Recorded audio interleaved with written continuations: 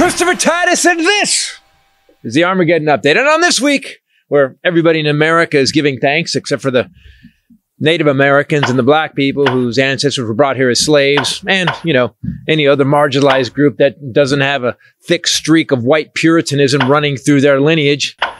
Most of the people whose families burned witches, by the way, are thankful today.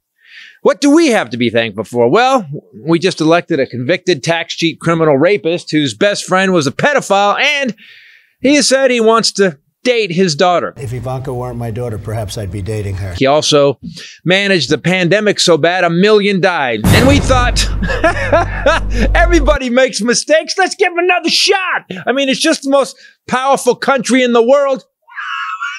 What could happen?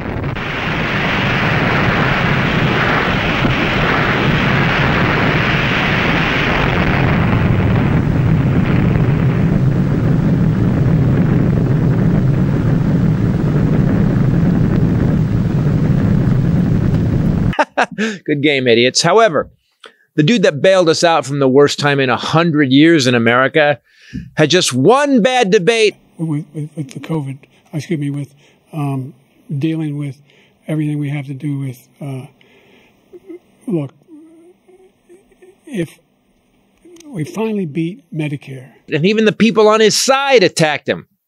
Democrats, George Clooney. By the way, for 36 years, each year they list the poorest man in Congress. Oh, I'm not joking. 36 years. I was House and Senate, the poorest man in Congress. Never thought myself poor, but I guess came from a typical middle class family.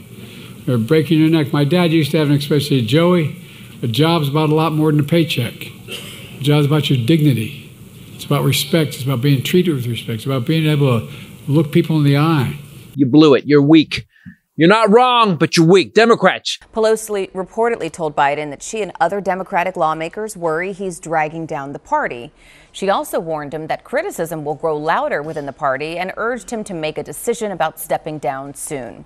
You threw a great man under the bus and then use that bus to run over yourselves. I'm Shiva, the god of death. So today, I'm thankful for the four years of rest and normalcy we got from this man, Joseph Robinette Biden. Thank you, Joe. You took over at the height of the worst pandemic in a hundred years. Next thing we know, we're all getting vaccinated and the daily death toll from COVID dropped from 5,000 people a day to 81 today. Thank you, Joe. When Joe took over, the supply chain was broken and stores were empty.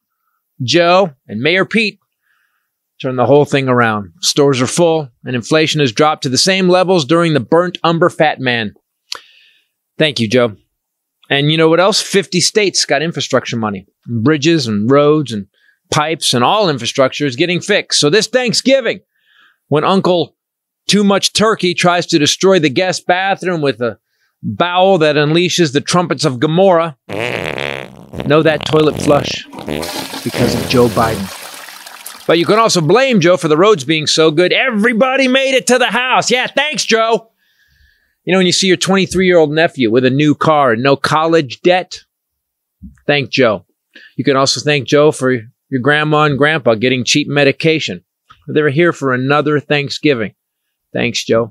For new chip plants being built and the stock market hitting 44,000. Yeah, during the last guy, it dropped to 19,000. Thank you, Joe. For killing Al Qaeda terrorist Ayman al Zawahiri. For getting us $1,400 during COVID to help get through it all for keeping unemployment at historical lows, and the Inflation Reduction Act, which actually reduced inflation. But most of all, Pop Pop, thank you for always being a decent man, for having a great relationship with an amazing woman. Where is Melania? For running for president in the face of a son who had died, for running when you didn't want to, and then doing the job with such professionalism and grace. And then for stepping down when the jackals of the Democratic Party smelled blood. On this Thanksgiving, I am thankful for a leader that did his job well and did it with class, grace, and with no toilet paper on his shoe. I'm Christopher Titus, and this is the Armageddon Update. Happy Thanksgiving, everybody. Yeah, it's going to be the last one we have. Holy God. Now what? I'm just waiting. You know why it's so quiet? We're all waiting for the crap to hit the fan. And we know it's gonna. Ah! This Christmas, Gather round and feel better about your family while Christopher Titus slanders his. This is the darkest show I've ever written. I want you to know that up front. I am not bragging, I am warning you. If you like Hallmark movies, you'll hate this. There's a couple of bits in this show that will cause what I call a hate clapping. You'll be like, that's well written, but goddamn.